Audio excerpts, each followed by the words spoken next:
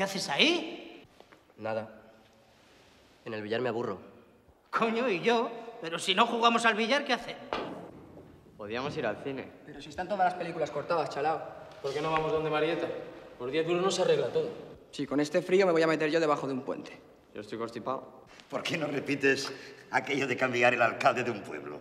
Buena idea, ¿eh?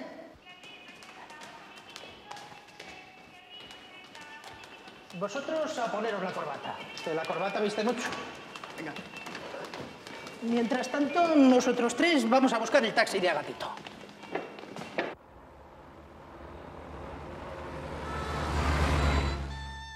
¿Qué os parece, chavales? Mejor imposible. Aquí debe ser donde Cristo dio las tres voces. Acelera, Agapito. A ti, Bol, algún día estas bromas te van a salir caras. Tú calla y acelera. Sí, callar callo, pero acelerar.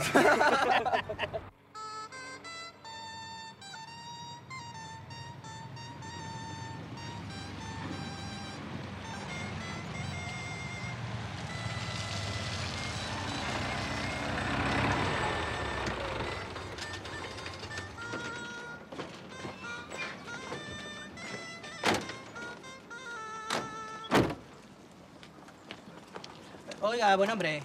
¿Cómo se llama el alcalde de este pueblo? Pedro el Granota, si se le dice. ¿Y dónde lo podemos encontrar? En su colmao, no sale de allí nunca. Venga, venga el indico. La segunda puerta a la derecha. Ahora decido. De nada, hombre.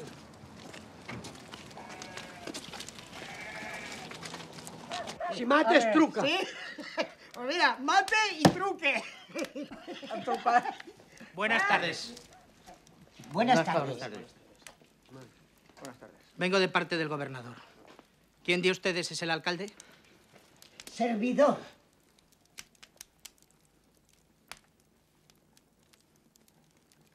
Aymeric, el documento.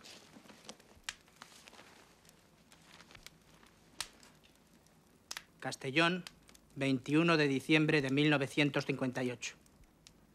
Le comunico que el alcalde, don Pedro, Pedro Roches, señor. queda usted destituido. ¿Y eso? Órdenes de arriba. Usted sabrá. ¿O quiere que lo cuente en público? No, no, no, no, nada, nada, no. A sus órdenes.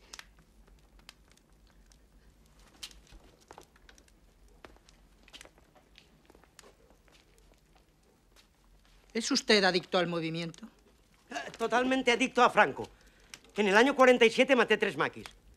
Que lo digan estos. ¿Es verdad eso? Sí, señor, sí. ¿Cómo se llama usted?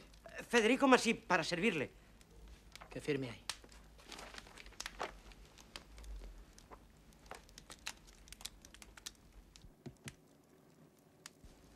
Si quieren tomar algo, Nunca de servicio.